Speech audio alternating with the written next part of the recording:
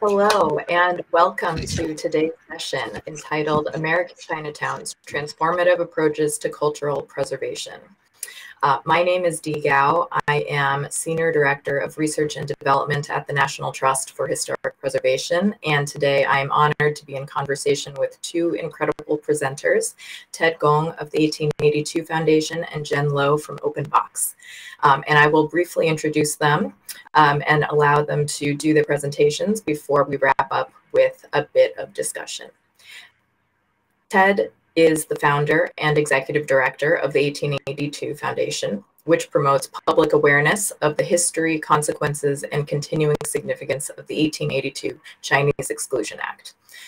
Ted successfully led national grassroots efforts to have Congress apologize for the 1882 Act, and prior to to founding the 1882 Foundation, Mr. Gong served in various roles in public service and international affairs at the State Department, Department of Homeland Security, as well as U.S. embassies and consulates in Taiwan, Hong Kong, Guangzhou, Sydney, and Manila, as well as other consular programs dealing with operations in South Asia and the Middle East.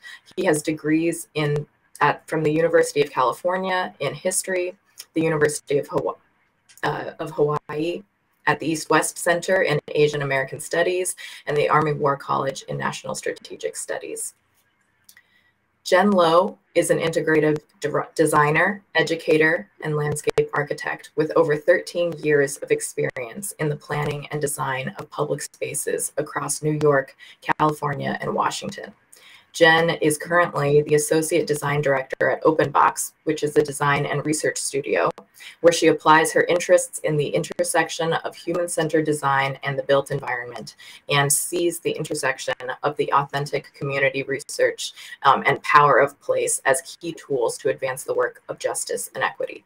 Jen has been partnering with the 1882 Foundation to curate the Dear Chinatown project, to spotlight stories and social histories of places within DC's Chinatown to identify projects that contribute to sustaining neighborhood placekeeping for long-term residents.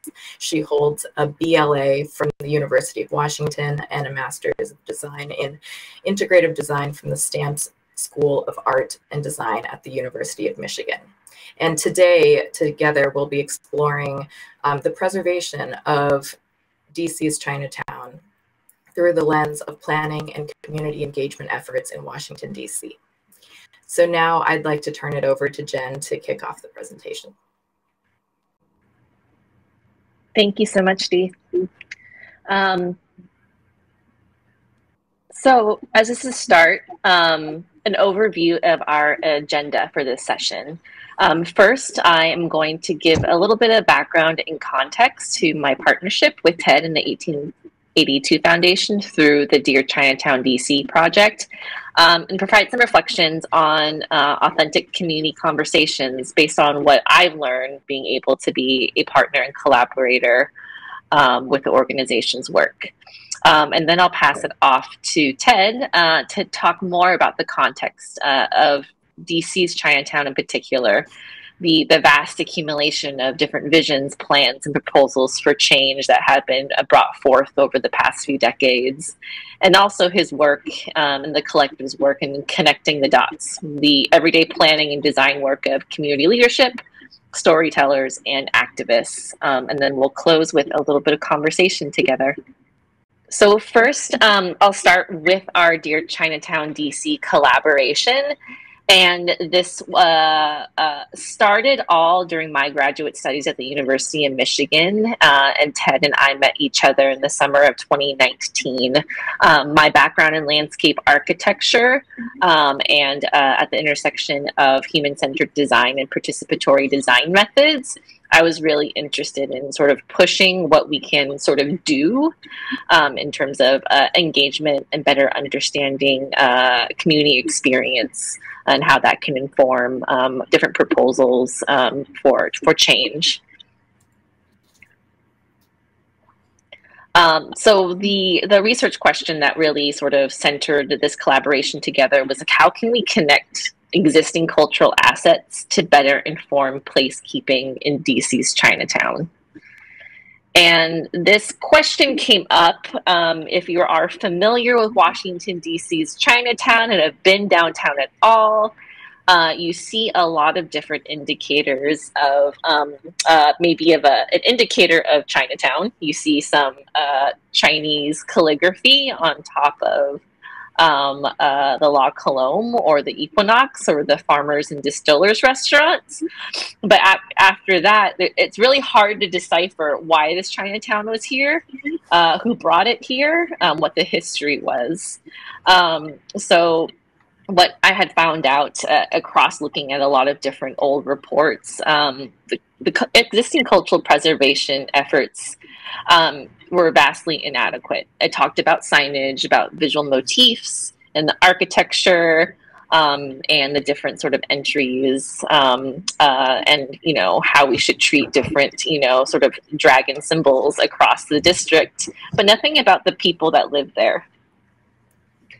Um, and fundamentally, I do have a really strong belief that city planners don't really design for engagement. They hold meetings. And that sort of like leaves a lot to be desired in terms of how we can facilitate and plan for and design for conversations that enable us to really understand the, the people who um, you know feel deep belonging to a place um, uh, both who live, live there, who do activism work there, um, to people who work there, and so forth. And it's really important because um, these are the types of processes that each of us have to live with constantly. Each of us know the, the, the existing engagement processes, those checklists that we have to go, go through, the town meetings um, that we have, um, and all of that continues to drive and contribute to a lot of the ways that we don't want our cities to move in in terms of neighborhood change. And in DC in particular, gentrification is a major force when it comes to displacement, meaning that um, people are fundamentally feeling alienated by the places that they live. And that's Chinatown, and that's largely um, most of the neighborhoods uh, in Washington, D.C., which was also once known as the Chocolate City, a majority black city. So these um, conversations that we've been having are very close to both of us and our work together in our communities around Chinatown, but this is also a much larger, bigger picture story to tell about how do we, you know, foster conversations with communities in authentic ways um, to be able to feel like people can s- still feel welcome and belong to places in our city. So I really felt like the audience was important to this conversation too. So this is really centered around community leadership, being able to express and expose and like, you know, celebrate the work that they do, and as well as emerging leadership. Um, it's a, a, generational effort that you know things can't be solved within the time that we're here. So how do we build momentum and inspiration for future leaders who are going to be doing this work? And also, you know, presenting and showing city planning, we need to be also driving new methods, new ways of being able to do this work because um, the, old methods eh, have failed us. Um, and a lot of this sort of conversations we've been having too, I do want to draw the inspiration from this work.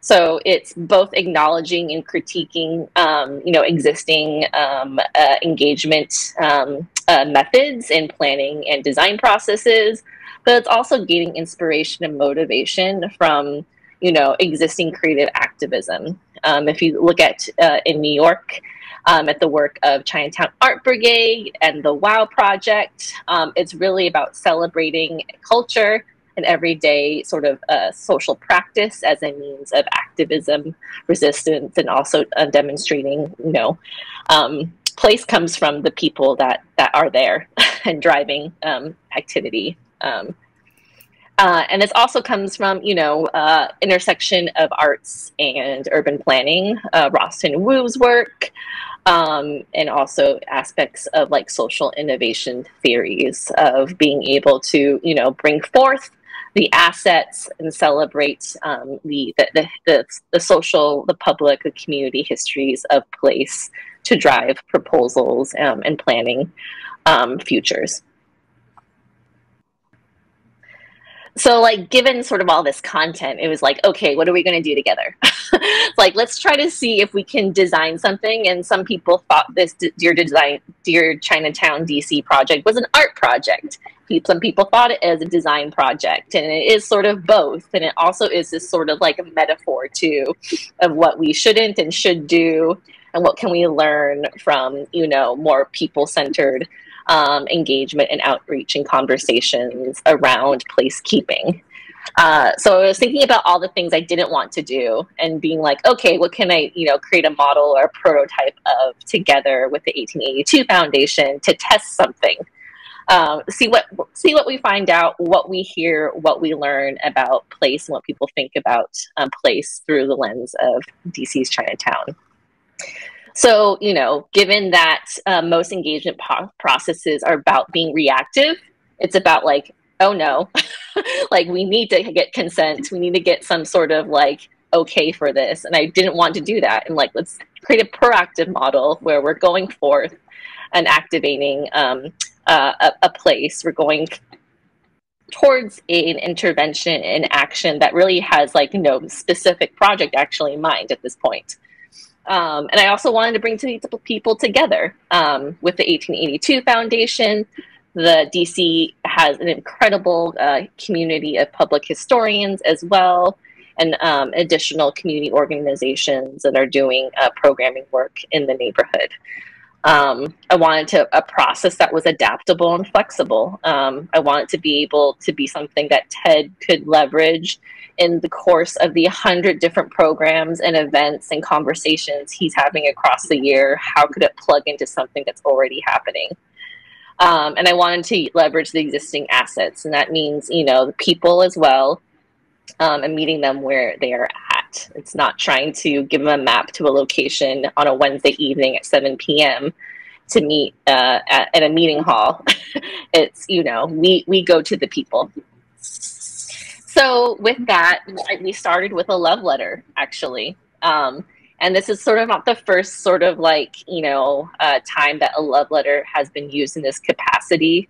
Uh, there's a lot of different love letter and break up letter uh, uh, research methods to, to, think about like how someone thinks about their relationship to a, a place, to an object, um, and I really loved the idea of uh, using the, the love letter um, activity as an action to have people think about, you know, what do you love about Chinatown? Like, what brings you here? What do you go to? You know, where do you walk through? Um, what's special? And so I wanted to use that as a sort of a test. And we tried it once. I tried it with some students first who had relationships in different Chinatowns across the country when I was in Michigan, as to seeing like, what does this solicit? Am I going to find out anything in particularly important? Um, and then I also tried it again with the 1882 Foundation at a talk story event um, and observed. Um, we produced really beautiful lo- love letters um, about different Chinatowns and also some interesting facts and stories about how DC's Chinatown was also special to people.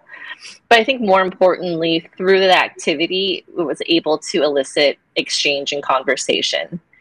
Um, I heard additional anecdotes about people's personal experiences and stories about their relationships to their family members, to their friends. Um, and, there, and then also at the 1882 Foundation uh, uh, talk story event, it was a lovely way to like engage and facilitate intergenerational conversation as well. And then, so we then scaled this up. We took it outside and we went over to the Wah Luck House, which is one of the remaining affordable housing buildings in uh, DC's downtown, uh, right in the heart of DC's um, remaining Chinatown.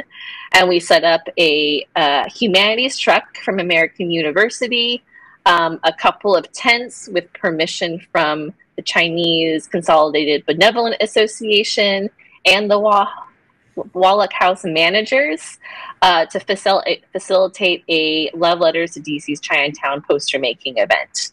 So we had posters um, that kids can make. We also brought in the humanities truck oral history recording equipment to be able to capture those stories.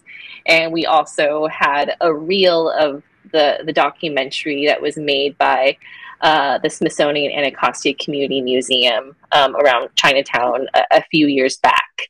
Um, so we had exhibit, we had uh, a making event, um, and an opportunity to be able to tell some histories that are often not seen at all um, in, in this particular Chinatown. And so we had the event, but I think the most important part, which I want to center for this conversation, is sort of like what did I, what did we learn together from this endeavor? Like, it wasn't, you know, in itself like um, a successful event. I think it was uh, successful in terms of what we learned from, you know, watching people engage with each other, the the the sentiments we heard about Chinatown, um, and some also mechanics around engagement as well. Um, so I think one was really powerful is like partnership. And I think we know that, but often we don't leverage it to its maximum ability of, you know, being able to put in different networks of collaborators together between the humanities, between TED's work, and also a couple of different organizations that have been doing a lot of work over the decades in DC's Chinatown. Um, forging those relationships and communication avenues um, is a success in itself and again being able to have that intergenerational convening and conversation um, i found that sometimes the uh, the adults and the elders were very resistant to actually doing a, a poster making event but they loved talking to younger folks.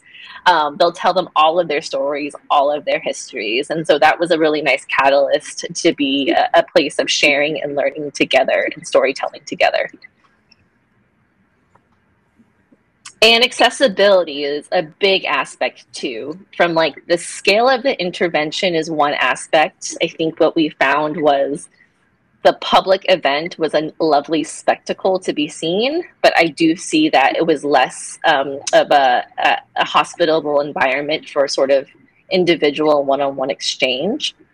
Um, uh, trans translation and how you're going to facilitate translation and interpretation in any given space are like vitally important not only just from like you know straight up mechanics of communication but there is relationship building rapport building that happens. And so um, i had a couple of friends that were really able to facilitate that for me because i don't have chinese language skills myself um, and that can't replace you know we um, uh, don't think about enough about how we, you know, how communication um, is a connecting tool.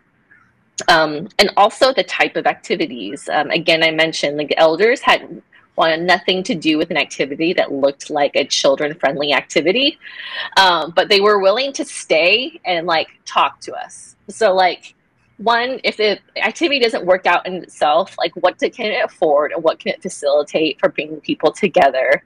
Um, and those five to 10 minute conversations with elders from the Wah Luck House, who we don't typically interface or wouldn't have another avenue to communicate with, is not something we should also like undersell to. Um, it's small moments as opposed to large moments, maybe some activities, um, engagement sort of things that you think are more fun. Uh, maybe fun and sparkly, but it may not be the fundamental core of what you're trying to accomplish. Um, and data quality, fundamentally, what are we trying to find out? Um, and I think this is also very much in response to a lot of post-it note conversations, a lot of um, questions that are really about, you know, what's the color of that bench? You know, which style of building do you like? And that doesn't tell us a why. That doesn't tell us, you know, why from now through 20 years from now, why this place is meaningful to people, what brings people together. So I think having open-ended questions and really also quality questions coming into conversations and how you might facilitate those open-ended conversations is something we want to be driving more of um, because we live and work and exist in really complex spaces and none of our sort of experiences about place can be really sort of like you know distilled and abstracted down to like one single you know design intervention um, and to wrap up sort of like my sort of calls to action and findings around engagement before I hand it off to, to Ted to kind of talk about the big picture and, and why this is important, um, minimizing barriers to communication. Language um, becomes a, a, major, you know, um, both accessibility and barrier consideration. The scale, venue, engagement methods, Um, when you're looking at participatory processes too, all of this needs to be th thought of as longer time scales. Um, Ted and I and the 1882 Foundation, um, I connected with them for a very long duration of time. And it really just started with me just showing up. I showed up to the talk stories. I kind of lingered around and like had lunch and just kind of stuck around for a little while. And we also, there's such a value in being able to observe, understand, and be around folks and have conversations and be in company with people um, and being able to build upon and amplify existing efforts. There's no blank slates that exist. So how do we seek out new synergies, make connections, help facilitate those connections?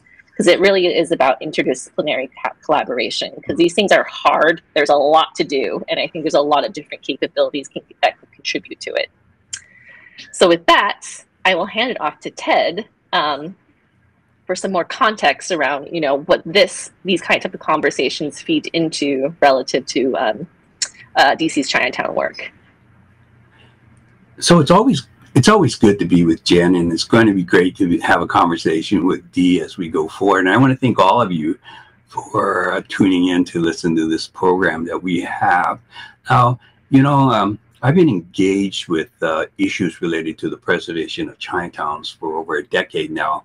Uh, many of you have been doing this much longer. And whether about Chinatowns or other ethnic enclaves, the um, gentrification is reflexively cited as the big fear, you know, and that is articulated by raised the number of raised or removed buildings or the number of residents that no longer live in the area. But, you know, I have to say that how that the preservation of buildings has never been my primary concern. I'm more concerned about preserving the stories of people telling the stories, uh, of their own stories. Storytelling and oral histories have always been primary to me. But for now, I want to focus our session. I want to uh, talk about several approaches to the present preservation of Chinatowns, and that is this DC Chinatown. I went to go through several different plans and guidelines that have come and gone. And in this session, I want to leave uh, the thought with you that, and with the property developers and the city planners, that they ought to examine these past studies, regardless of where their property lines are, and borrow elements of their preservation plans. Not necessary, it's not necessary to build new plans uh, in isolation. And I also think that they should consider social factors holistically, both immediately around their property lines in a district, uh, which we're going to call coastal zone. And we will talk about that further toward the end of the preservation. So next slide, uh, we have um, two, there are two foundational studies and guidelines to DC's Chinatown's preservation. One is called the DC Chinatown Cultural Pres uh, Development and Small Area Development Plan. And the second one is called the Chinatown Design Guidelines Studies. Uh, everywhere you see, whatever document you see in late, they always cite these things or built upon these guidelines established probably around the 1980s. What these two studies and things around them have done is they have defined the boundaries of an area, the streets in which Chinatown is is, is uh, composed of, and it gives guidelines on how to make a building look Chinese uh, to reinforce Chinatown. And this term comes constantly in every all the planning studies and discussion is to make Chinatown a distinct cultural destination. And it's pinned with the archway as some within 8th Street uh, line, you can decide for yourself how, how, successful that has been. And the next slide, please, Jen. Jen. And but there are four other studies that we want to look at in education. Um, one is the uh, the uh, SLA Chinatown Green Street project that was done in 2014. The Urban Land Institute realizing a new vision of Chinatown Park 2017, the 1882 go back up to the other places. but the uh, 1882 Foundation is um, uh, uh, uh, Chinatown off Street project, which we did in 2020. And we have a current project with 1882 Mellon on something we call the 506 508 project. So the first study we want to look at is this 2014 Chinatown Green Street project, and it was done by the, uh, the American Society of Landscape Architects. And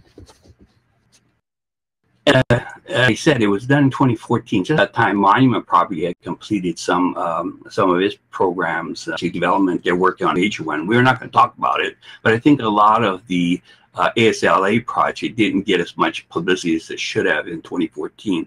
Uh, anyway, next one. Next slide. What the project did is basically something like this.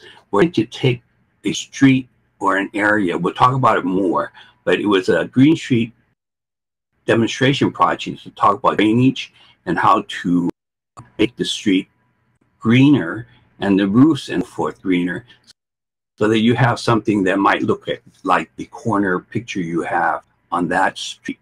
And it goes from that particular street goes right up to Chinatown's park. Next slide. So the second, uh, the second project we want to talk about quickly is something by the Urban Land Institute. And what they did was work with the Mayor's Office of Asian Pacific uh, um, Affairs and looked at that park in the center. That is the uh, Chinatown Park. Uh, has a very fancy other name, but we all call it Chinatown Park. Uh, the green, uh, the blue area at the bottom shows you where the Chinatown Green Street project went. It went up to that area, and then it, then the China uh, Urban Land Institute basically took over, uh, started looking at the park, and they wanted to design it to do what they were calling uh, uh, activate the park. The odd thing about that design was that you see all the little pink dots there. They said uh, this square did not have enough things to attract activities. So they wanted to put little uh, uh, uh tables, tables, things like that, as well as that circular thing on the right side of the corner is a an architect, I mean, a monument of some kind. And what I never could understand that was that almost just two or three years before they completed this study, uh, the, the park, which is operated by the Park Service, U.S. Park Service, had taken out all those physical things like benches and so forth because there was a problem with people occupying that and making it uh, uh, unattractive for people to visit. So they took those those benches out, and I never know how why they didn't consider or thought about it. I remember once in one of their uh, one of their uh, uh, listening sessions, the listening sessions which Gene taught, and I said, uh, "Why do you want to put anything in there?"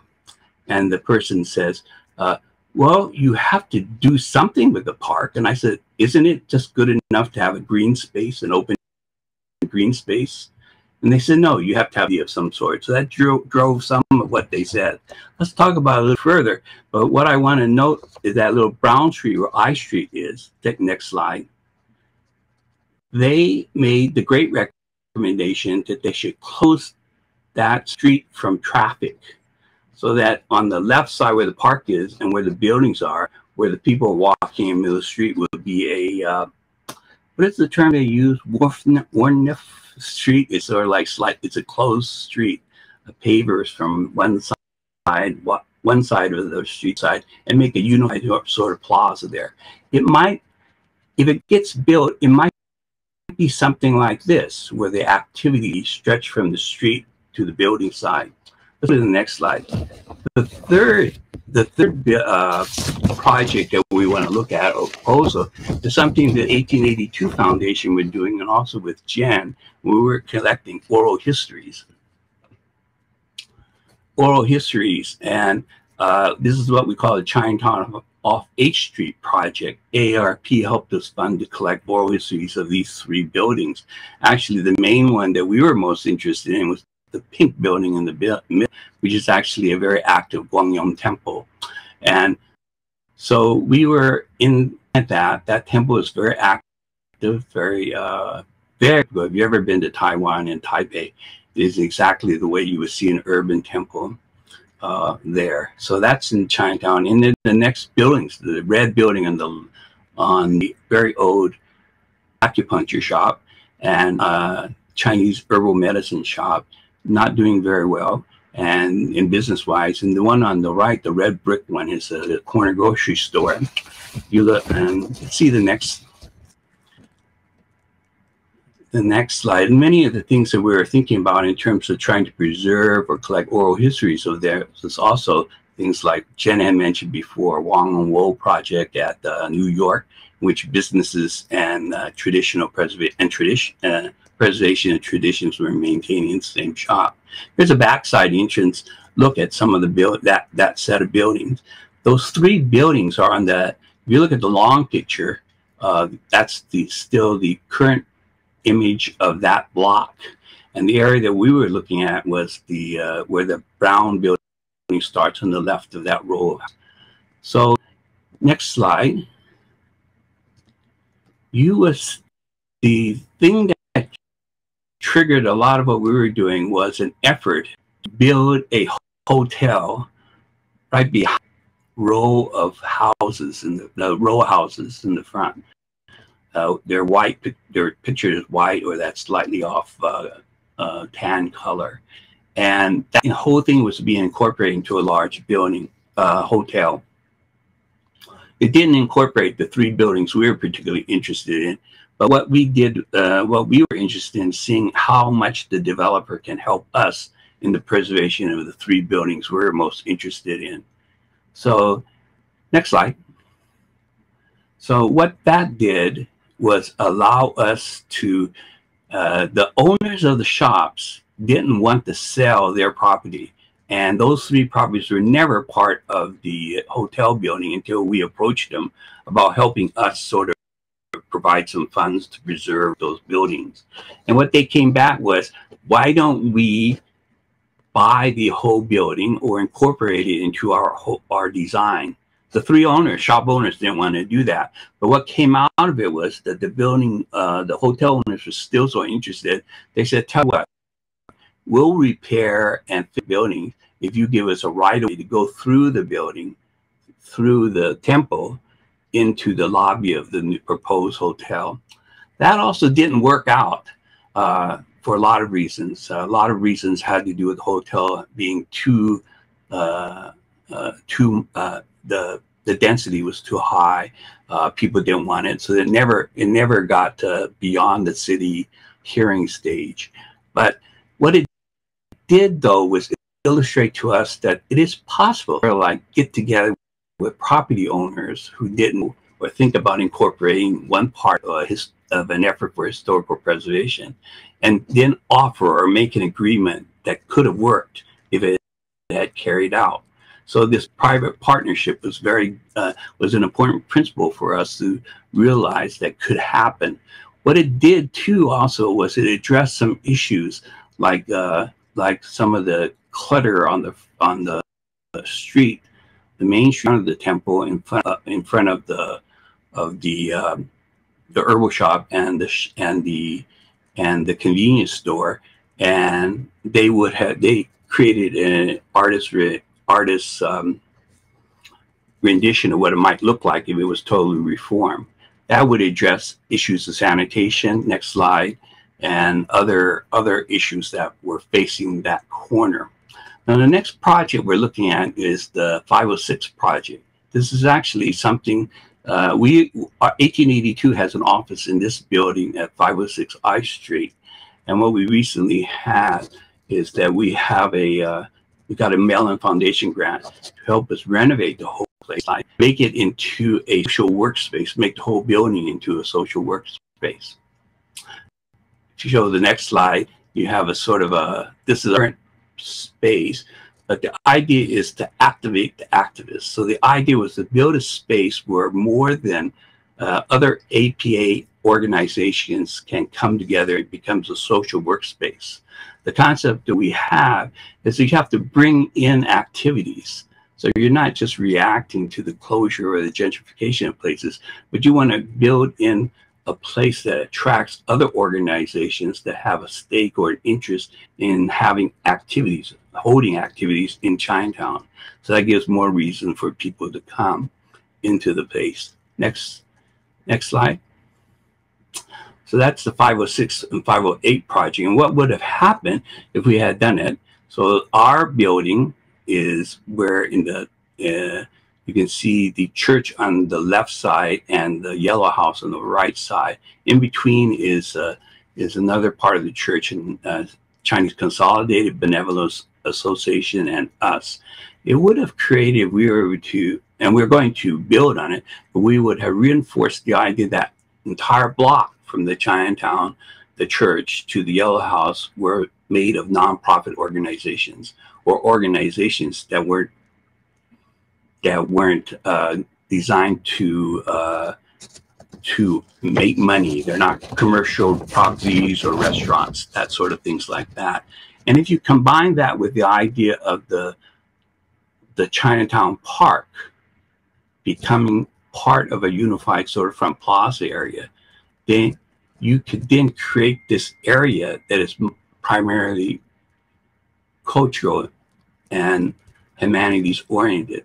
That presents an alternative or recentering of the Chinatown from the H Street commercial area back into this commercial uh, this area. Next slide.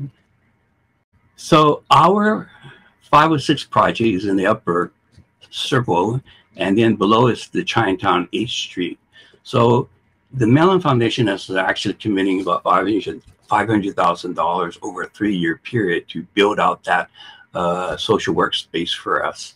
And that block combined with say the H Street project and the corner bottom left of that block allows us to think about filling in that space of the whole block, right, with cultural and humanities or programs that are not sure in the sense of being another uh, sports bar or some other thing like that in that place. And that addresses another aspect of the another China uh, city proposal, which was figuring out ways to make them sort of more active and usable. That will address many of the pro other problems you have, like um, homelessness in between the alleys, or there were cells of drugs in between or behind the herbal shop and things of this sort.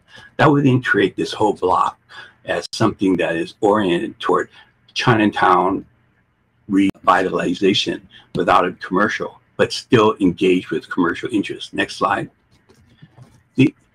The, interesting thing about this is as we develop the plan and we go back to the idea of what was what what do we want to preserve or the larger preservation, we go back to the Chinatown Green Street project where we first started. The street between where that red red block is is where the ASLA building is. And the Ill, the part that we looked at was just that one block. So you see the Chinatown Park, and then you see the street. But the proposal for ASL LA program actually extended the Green Street all the way from the Chinatown Park to the park at the city center.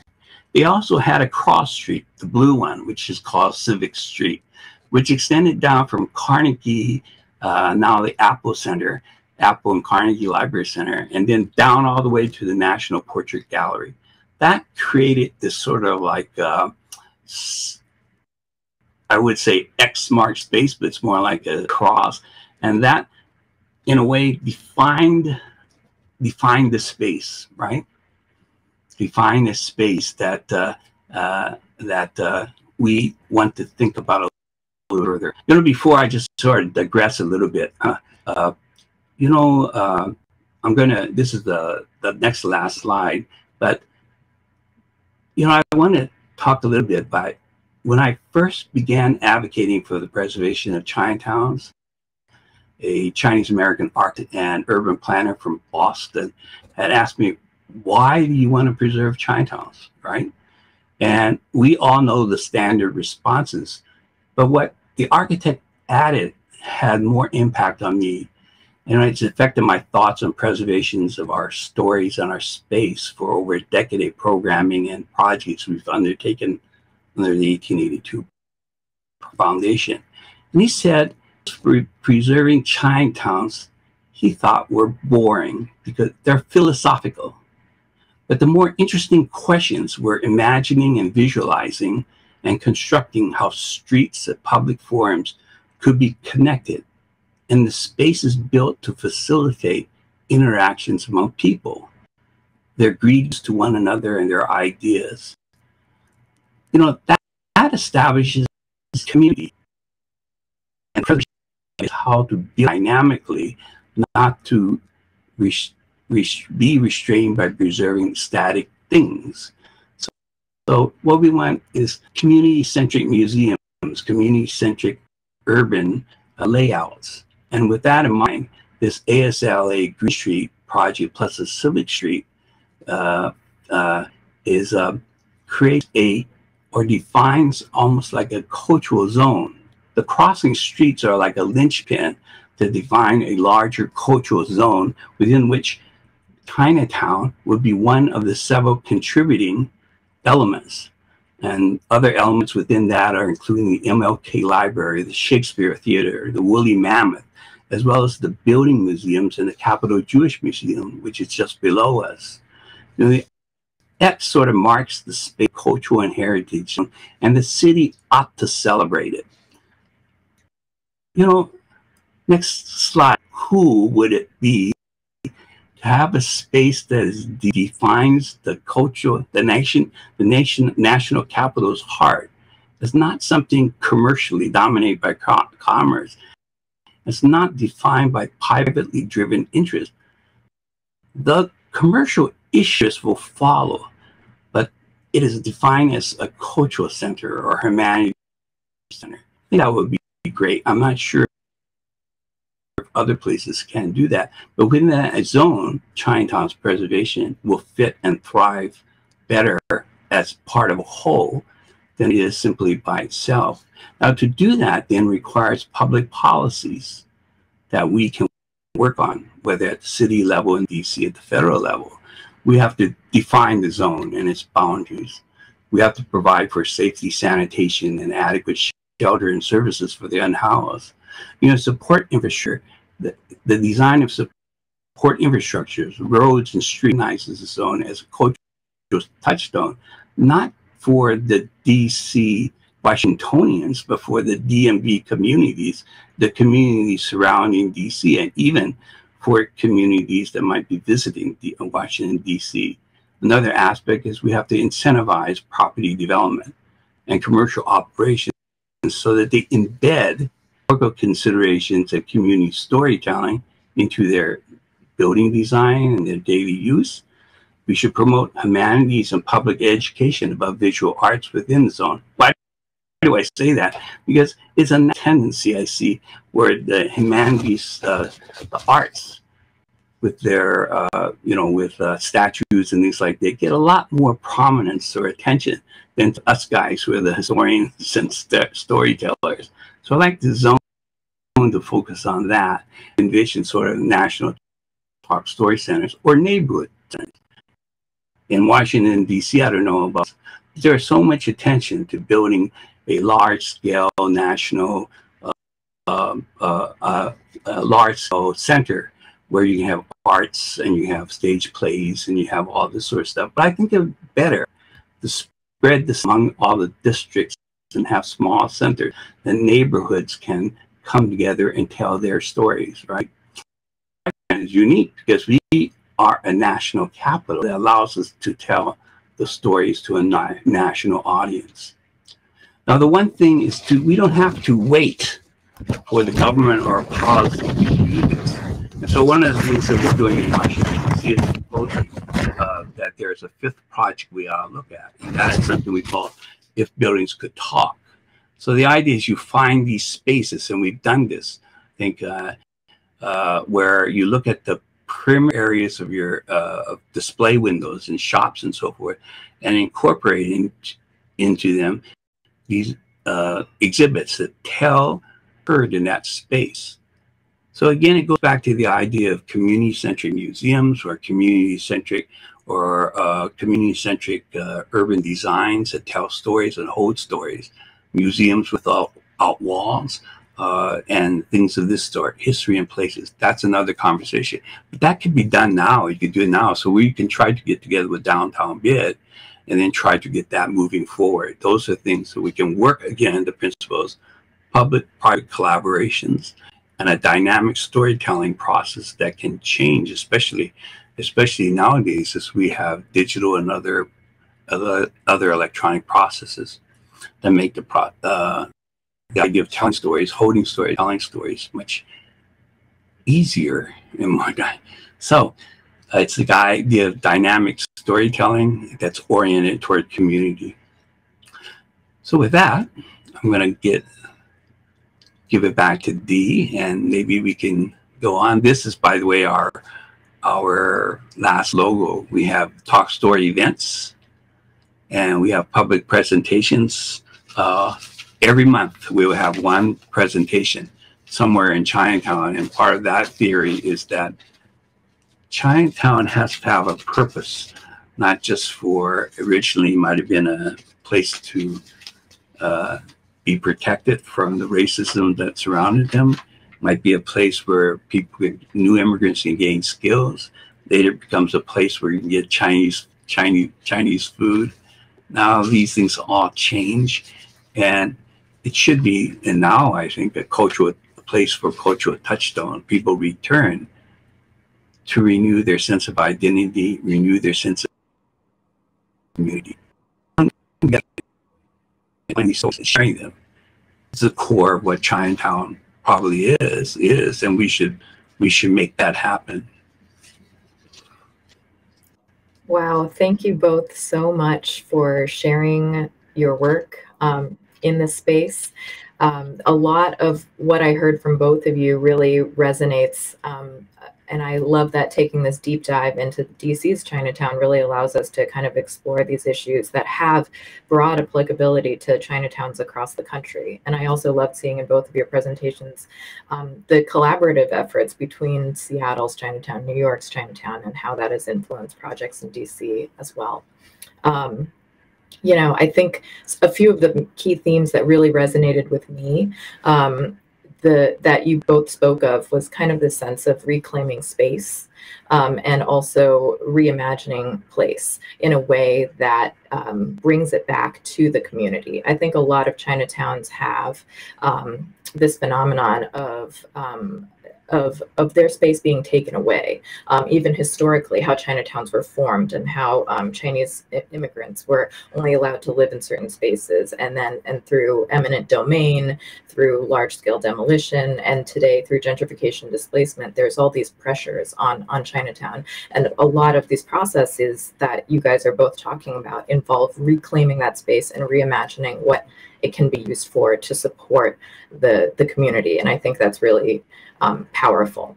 Also, you both spoke of reclaiming um, the planning process. And Jen, in particular, you were saying this this process has failed us.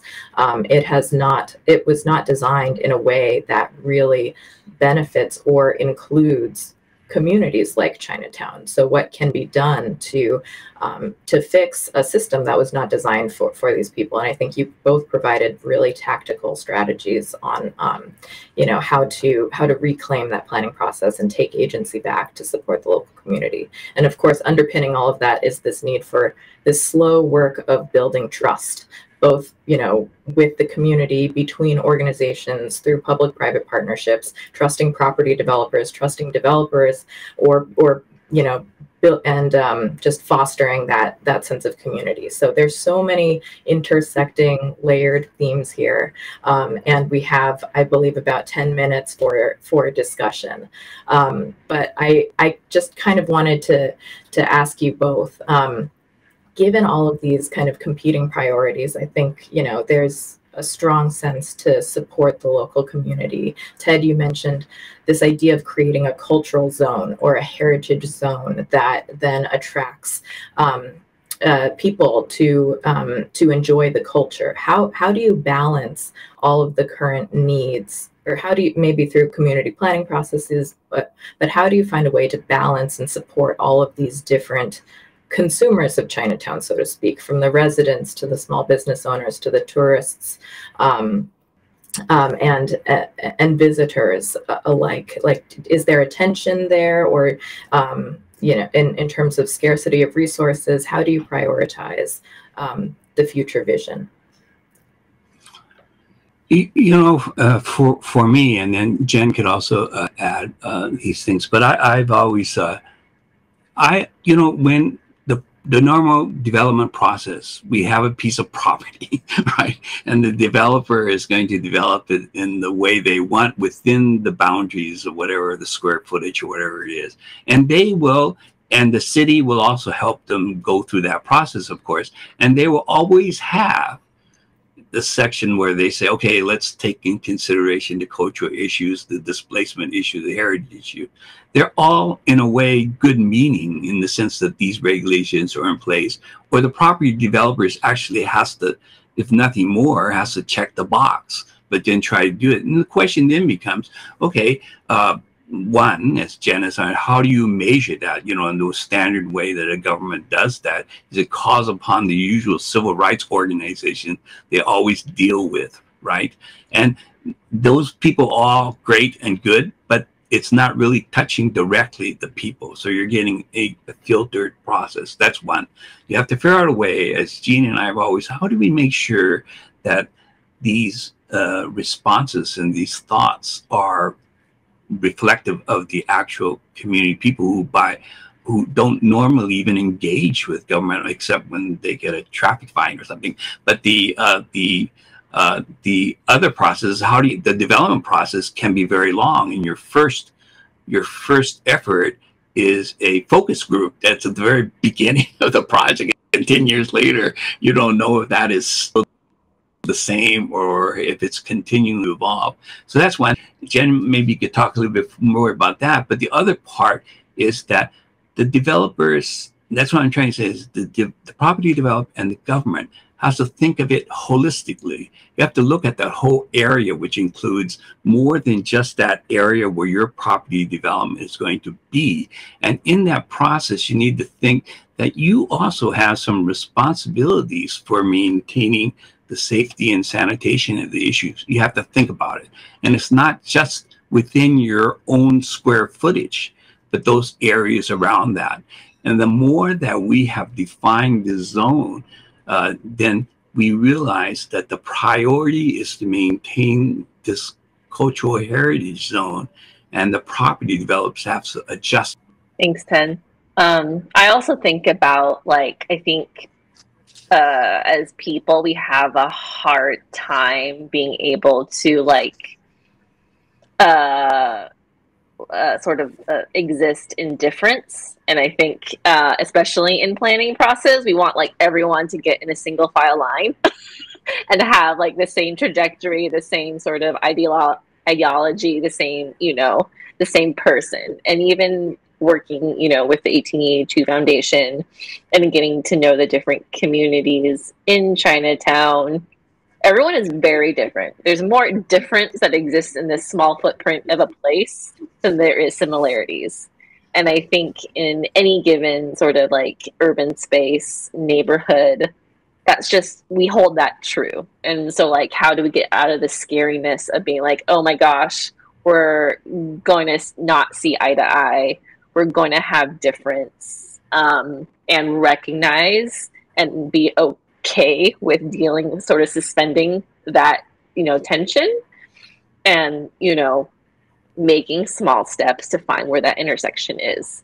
Like if that is one thing for instance if it is storytelling and we can all come together that we want a place that we want to tell stories how can we like build on a small moment to be able to repair some trust in a like a very big scary sort of ecosystem of a lot of distrust and a lot of overwhelming feelings about um, a, a, lot of different issues that are compounding that ted has mentioned too that we can't you know solve right away with policies and like systemic issues. Um, but like let's like find a moment and then move together there. And i think we undervalue the being able to, you know, appreciate the small achievements too. Like, what can we like think about, like, you know, three months down the line, six months, one year increments, instead of thinking about this huge, lofty vision that is supposed to take us from like now to 25 years? Like, that's a huge jump. And people get very disinterested and challenged by like these long-term things so if we start to build in small like more human scale moments to, to achieve something and have conversations and wins Um, that's what I try to hold on to in order to sort of bigger to like build bigger momentums. You know, I'm I'm, I'm not the smartest guy, but it's almost like it's a paradigm shift. Everybody where every urban developer, every urban government is trying to do the right thing. So the emphasis is always on the property developer. You're you're focused on the idea that if the property developer makes money and changes his uh, his or her from uh, place from uh, from uh, commercial development, mixed use development to small uh, small buildings and so forth. That's the primary thing. The very way that we define what the China the Chinatown is, it, for all its good intentions, is that statement that says we want to make sure that Chinatown remains a unique cultural destination, right? A unique cultural destination. By almost defining that way, you're actually in the back of your mind, you're saying it's a destination for tourists, a destination for uh, property development or for uh, uh, government how or things of this sort. But, but if you take that out and just say our zone, which there are so many representative offices, so many historical things, there are five active synagogues within walking distance of my office in Chinatown. That space is shared with uh, China, uh, Jewish uh, immigrants as much and as long as DC has been there as it has been with Chinese, right? And the more we do our context study, like Gene and I are talking, we're working on, there's a Filipino connection. there's all kinds of things there. But the idea is uh, if you put the emphasis, shift it, it we're not going to, no longer are going to think in terms of what property development is going to bring us the most money, right? Or the most prosperity measured by financial return. Rather, that zone, that large, is so rich in heritage and history that the city ought to grab it and make it, uh, uh, celebrate it, and put that as the dominant you want to do, then the businesses will follow, right? And if you do that, then what you're doing is saying the importance of this heritage represented by community groups, individuals, is important than sort of building another hotel or another uh, or another um, uh, mixed-use office building, right? But you're not gonna you're not gonna displace them. Those guys are gonna follow whenever you we're saying there's public-private collaboratives work on it on that make sure that they work we work together. But the focus is on community the intersections. How do we to allow, allow them to exchange ideas? That really touched on my last question for both of you uh, which was how do we know when we're successful? How how will we know when we have successfully um, done authentic engagement um, mm. or driven towards this vision of um, unique cultural and heritage based placekeeping. Um, and so, Ted, you you shared a few ways to measure that success. Jen, um, do you have any final thoughts about how will we know when we succeed?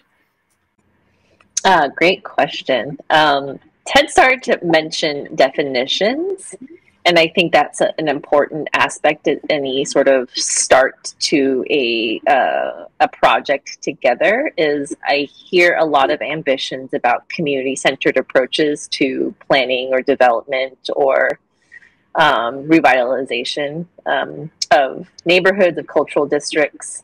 Um, and in order to like define success, you have to have the community design, defined the success at the very onset. So if we're not having conversations about like what are what is the key objective of this like endeavor together? Like what do we mm-hmm. want to achieve? And like for the communities that it's mostly going to affect, what do you see sort of as the as metrics of success? Mm-hmm. And that could be things that are very tangible quantitative things like i need my small business to thrive for the next 20 years because i want to pass it on to my kids or it's like i just want to be able to sit on a bench and like for half a day reading my newspaper mm-hmm. with somebody else enjoying yes. and doing their yes. thing across yes. the street.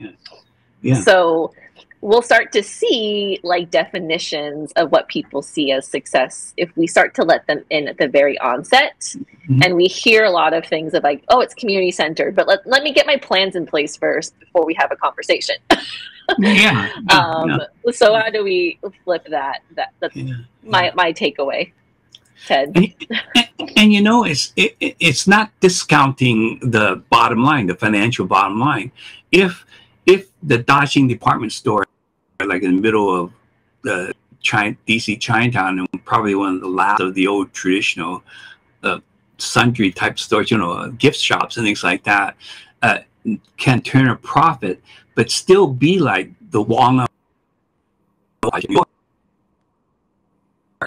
They're both profitable and they also are preserving tradition or participating in it. That is a measurement of success. It is not just that you have to show that you preserved all of tradition or that you have to show that you're making like X so much profit. But that could be there, like Eaton Hotel or any of these things, place like that. Or for example, the Chinatown Garden Restaurant, which is the one of the first first restaurants in DC Chinatown was one of the first places for the On Leong Associates. If it can be maintained and stories there and then at the same time be a profitable business, that's that. Those are measurements of things. If I can have uh, the Chinatown off H Street and the temple maintained, perhaps it can't can't keep itself by itself as a traditional thing. But if I add a bookstore there or something that tells about Chinese American history or culture or about Buddhism or that, and that becomes successful uh, in terms of attracting businesses or if the acupuncture and the herbal herbal medicine shops they're not doing very good at all in terms of businesses. But if it were to be able to the city were able to reform like they have in some of the plans called the great street project invest in making those places stable to allow them to maybe modify their business but keeps the character of that chinese store or tradition and then makes it profitable. Those are measurements as can I change the city city policies in such a way that they are cognizant and supportive of things that are culturally or humanities oriented and not necessarily based upon how much revenue they can get from that space. Those would be great measurements. or if the if the if the uh, we're happy because we have Smithsonian and the connections there.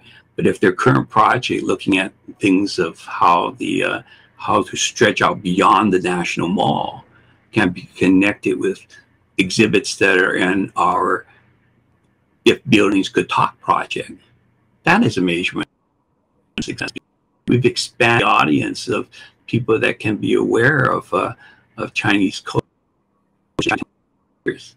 At the same time, um, uh, made many more people walking the mall or even around. So I can reach out to you, D, in New York and have a portal between us and you.